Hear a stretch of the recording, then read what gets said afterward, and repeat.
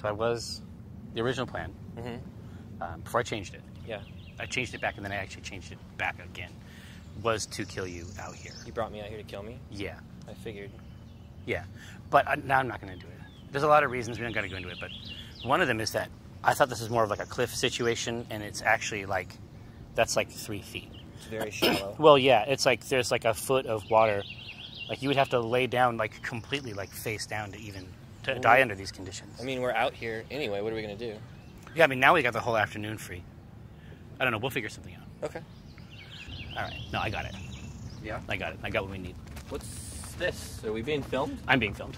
I never know when I'm going to do something incredible. So, um, obviously, at tremendous expense, I do have um, men with cameras follow There's me. a lot of people here. Man. Well, yeah, yeah. That's the you know, like I said, it's you know, it don't cost a hundred fucking dollars. Yeah. Right. Um, hang on. Foraging now. Yeah, yeah, yeah. I'm an urban forager. Exquisite. No. So after I decided not to kill you, Yeah. I started to think about sort of the circle of life, um, and I started to think about um, Hasbro's subsidiary, Wizards of the Coast's incredible game Magic: The Gathering. Oh yeah, I've played that. Yeah, yeah. Um, a lot of people have. Um, my thinking is that we could investigate.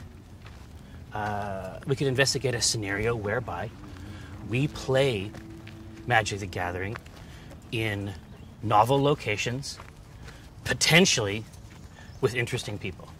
That sounds great. Well, yeah. th- that's the concept. That's the concept I have. You know what it's called? Magic show. No. Oh, You know what it's called? I don't. I just guessed. The Magic Hour.